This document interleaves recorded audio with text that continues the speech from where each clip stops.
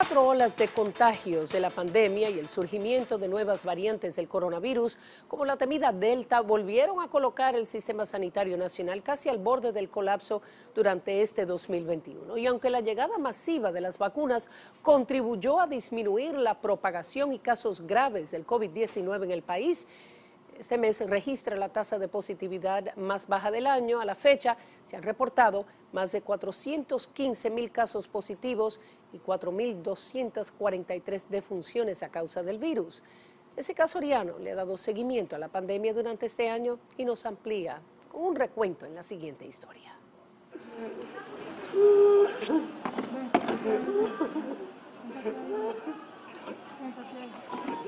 Las escenas de dolor a las afueras de las unidades de COVID eran desgarradoras.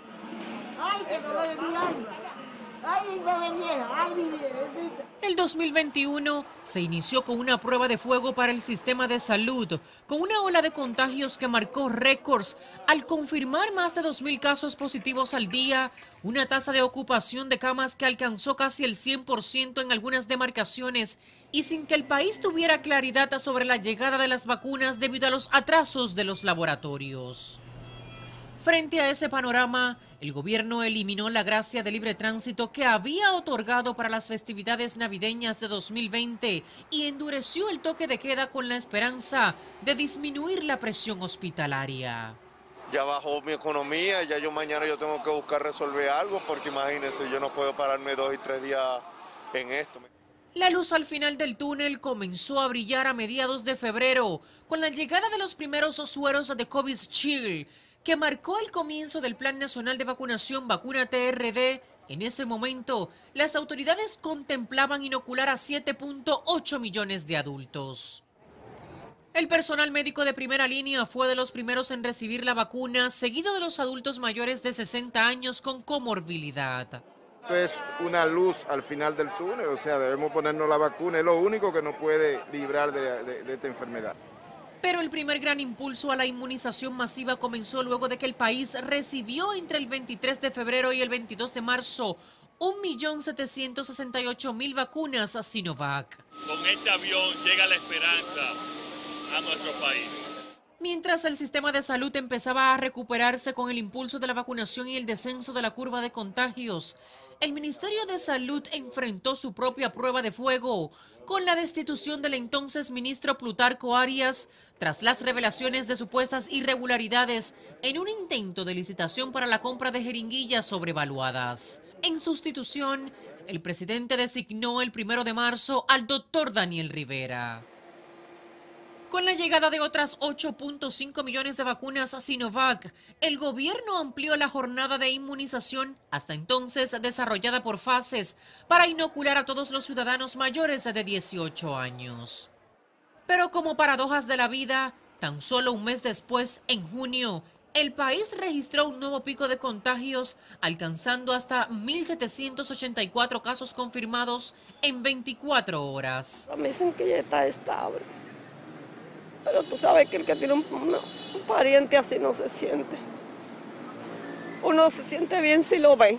La tercera ola de la pandemia aumentó la presión hospitalaria con una sobredemanda de camas a nivel público y privado, especialmente en el Distrito Nacional y la provincia Santo Domingo. Esto provocó que la demanda de pruebas PCR y antígenos se disparara, generando largas filas en los puestos de toma de muestra. Para ese mismo mes, y con el arribo de los primeros lotes de vacuna Pfizer, las autoridades de salud anunciaron la inclusión en el esquema de vacunación de los adolescentes de entre 12 y 17 años y la aplicación inédita de una tercera dosis de refuerzo en adultos, convirtiendo al país en pionero a nivel mundial. el fin de semana se vacunaron cerca de 83 mil personas, en su gran mayoría, por no decir la totalidad, Con el avance de la vacunación y la aplicación de la tercera dosis, el presidente Luis Abinader anunció a principios de julio el inicio de un plan de desescalada de las medidas restrictivas que contemplaba el desmonte gradual del toque de queda en tres fases, cada una con una semana de duración. La primera fase inició el 7 de julio con un toque de queda hasta las 10 de la noche, los días de semana y con una gracia de libre tránsito que permitió la reactivación de la economía y el comercio. A la par, El mandatario anunció la eliminación de las restricciones a la movilidad en las provincias que alcanzaron el 70% de su población vacunada, como el caso de Pedernales, La Altagracia y el Distrito Nacional. Tras varios meses de que la vacunación se mantuviera activa, la presencia de personas en los puestos de inoculación comenzó a disminuir, lo que obligó a las autoridades a iniciar la inmunización casa por casa. Yo no me había vacunado porque eh, casi no podía salir a vacunarme porque se me hace difícil salir. En la medida que tú te alejas del casco urbano y de la periferia, prácticamente la gente no quiere usar mascarilla ya Muchos de esos son los que están siendo internados y, con agravamiento. Ese tipo de personas que no están haciendo esto porque vienen de otras ciudades a internarse a las provincias importantes como Santo Domingo y Santiago. Sin embargo, el proceso de inoculación se estancó sin que el país lograra su meta del 70% de la población adulta inmunizada. Tarjeta de vacuna en mano, por favor y en octubre el gobierno dispuso la presentación de la tarjeta de vacunación en los lugares públicos y el transporte colectivo. Yo tengo una foto en verde en el celular y tengo la cédula de una vez para que lo confirmen. Es una forma de medida para que la gente asista más a vacunarse. Además del estancamiento en el proceso de inmunización, en septiembre surgió una polémica sobre las cifras oficiales de víctimas de la pandemia, cuando las cifras del Ministerio de Salud y los registros de defunciones en la Junta Central Electoral diferían en un 114.42%.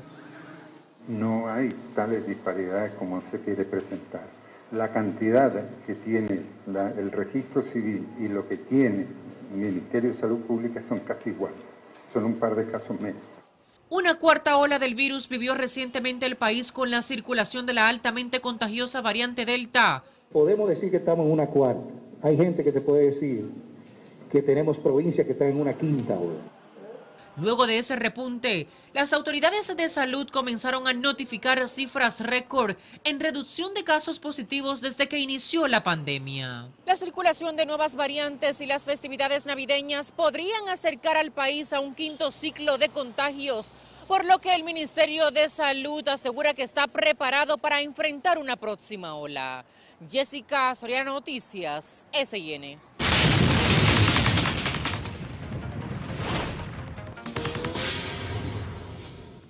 En tu dinero, ante el aumento en el costo de la carne de cerdo y de pavo, amas de casa que acuden a los mercados populares de la capital aseguran que recurrirán al pollo como plato principal en sus hogares para la cena de fin de año, mientras que otras lamentan no tener el presupuesto suficiente para cubrir el último banquete familiar de esta época. Gabriel Andújar hizo un recorrido y nos tiene más. Si la hice el 24, ya ahora no se puede, por la carestía de todo. Tal y como expresa doña Betania, el incremento en los productos para preparar las tradicionales cenas navideñas limitará que en algunos hogares puedan costear el acostumbrado encuentro familiar, mientras otras amas de casa coinciden en que el único tipo de carne que podrían poner en su mesa este 31 de diciembre sería el pollo. Todo, todo, todo caro un chin de pollo, un chin de espagueti, un morito, una telerita. El cerdo no hay quien, lo compre. Aunque sea un pollito, yo le preparo a mi familia, porque usted ve que si uno tiene pocos recursos, tiene que conformarse con lo que Dios le dé. Esta temporada el pollo entero asado cuesta unos 450 pesos y una libra de cerdo asado tiene un precio de 400. Aunque ambos hayan subido 50 pesos con relación al pasado año, las madres de familia insisten que un pollo alcanza para más personas y que incluso prefieren comprarlo sin asar que les cuesta menos. El pollo antes eh, subía y bajaba, subía y bajaba, por ahora está a 75 estable. Este año está muy más barato y que al y que hay mucho pollo. De acuerdo con los vendedores de los mercados populares, el ajo y la cebolla son los dos alimentos que han disminuido su precio, en cambio los demás productos han experimentado alzas. Y vienen con su presupuesto hecho y cuando ven la realidad lo que hace es que se van directamente porque no le alcanza ni para la mitad que lo que anteriormente estaban comprando. Aunque aseguran que luego del 24 de diciembre las ventas han mermado, comerciantes esperan que se vuelvan a dinamizar para este 30 y 31 de diciembre. Gabriel Andújar Noticias, SIN. El financiamiento bancario fue uno de los factores determinantes para impulsar la recuperación económica de los sectores productivos del país durante este 2021. Así lo sostuvo la Asociación de Bancos de la República Dominicana al pasar balance. La ABA resaltó que el crédito al sector privado en moneda nacional ha crecido de manera sostenida con una tasa anual cercana al 10% en todos los segmentos crediticios, tanto los hogares como las empresas. El gobierno construirá el próximo año peajes a la entrada de Banías o en la avenida Circunvalación como parte del proyecto vial que se desarrolla para agilizar el tránsito vehicular que se congestiona sobre todo en horas pico. Así lo informó esta noche el director de comunicaciones del Ministerio de Obras Públicas, Andrés Matos, quien negó que los peajes sean levantados en la carretera Sánchez o la autopista 6 de noviembre los proyectos de circunvalación implican un peaje en la circunvalación, pero no es un peaje para entrar ni salir a Baní, un peaje fuera de la ciudad de Baní, igualmente fuera de la ciudad de Asua. Matos también confirmó que el peaje de la autopista Duarte, actualmente ubicado en el kilómetro 25 de la vía, será instalado más al norte a fin de evitar que la población que reside en los alrededores no tenga que pagar por el uso de la avenida.